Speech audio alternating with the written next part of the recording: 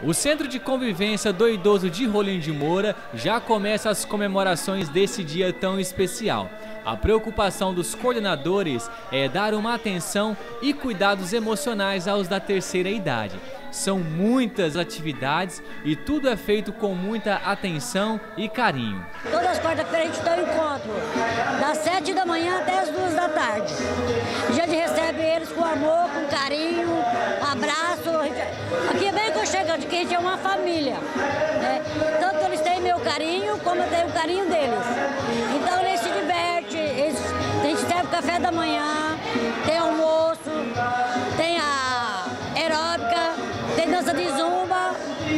Então, a mulher que corta o cabelo deles, ali aquela salinha da senhora, é uma senhora que mede pressão. E eles são muito felizes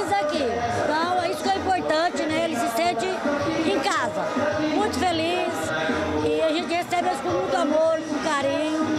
Eu participo aqui de muitos anos. Tudo documento meu é daqui. Aqui que eu voto para os políticos, aqui é tudo, tudo meu. Eu morava na Cidade Alta, ali em cima, muita raça de ano.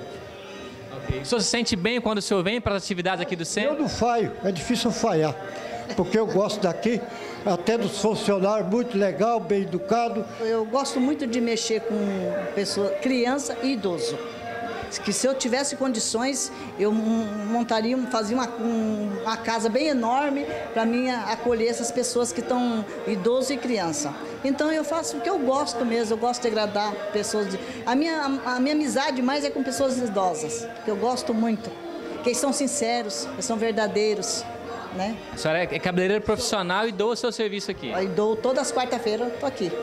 O que eu puder fazer por eles, eu faço.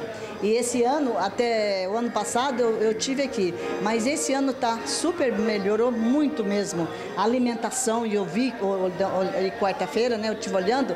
Nossa, achei muito bonito, viu? Eu tá de parabéns. E para ser feliz não tem idade, como nos conta o senhor Pedro, que além de ser bom de dança, já gravou até um CD. A minha vida foi só de trabalhar, né? Agora chegou a idade, graças a Deus, né? Até o meu CDzinho já gravei, estou divulgando aí pelas pessoas, né?